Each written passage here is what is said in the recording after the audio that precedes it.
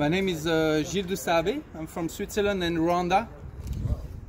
And I'm very honored to be part of you. Uh, thank you so much for Beaux-Arts to have uh, trust me, first of all. And thank you for Pro Helvetia to have sent me uh, in Cape Town. Um, it's a dream, to be honest. I always wanted to be part of a project like that. And uh, just meeting all the artists, you know, it was really amazing experience. So uh, um, I had so many uh, proposals. So thank you, Melissa, for your patience. But yeah, um, I didn't really know what I wanted to do. I wanted to do a painting, but I'm into photography and I'm a former filmmaker. So I just needed to walk for, and I did a lot of walking. I'm a, a good walker, and um, I just had to walk for eight hours in the in Salt River to understand, absorb, you know, um, and um, kind of just interact with people, feel the place, feel where I was, feel, you know, understand the context, and understand the people. So after the, the walk, after the first day, I just had an idea. And um, the idea was to actually put hands together to create the sense of community. I wanted to celebrate Salt River people. I wanted to celebrate uh, the colored community and uh, I've done some research. I've met some uh, South African before coming here, and I understood that uh, they went through a lot of discrimination. So I decided to celebrate them and to appreciate the, the shade of brown because I don't call um, African black people. I acknowledge the richness of shades and um, as you can see um, you can see um, nuance. I wanted to create nuance. So it's a kind of poetry. And um,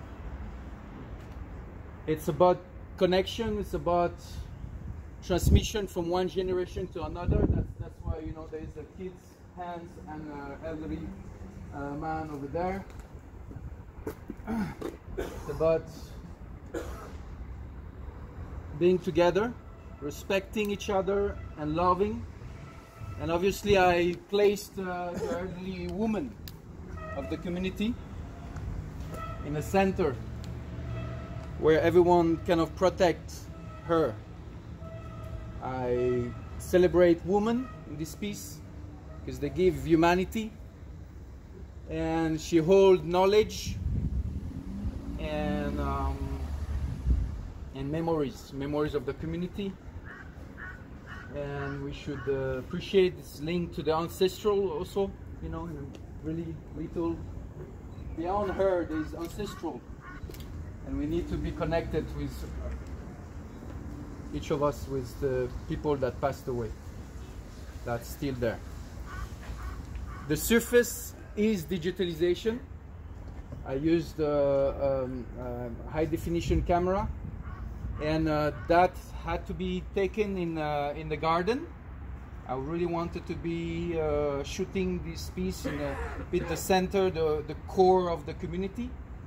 And it's a very peaceful environment, very uh, calming.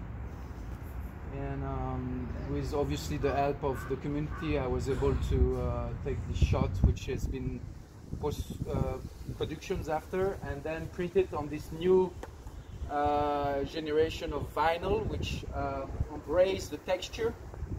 So that's pretty nice you know you have um, this feel when you touch it. Uh, the hands holds her story a hands a future and um, that's also linked to the digital print. Um, you know, when uh, we actually do that in a mm-hmm. uh, phone. Um, so that's why um, I came up with this piece to uh, to be real. I didn't want to create a stereotype to come here from my point of view and I just wanted to be as real as possible. So thank you.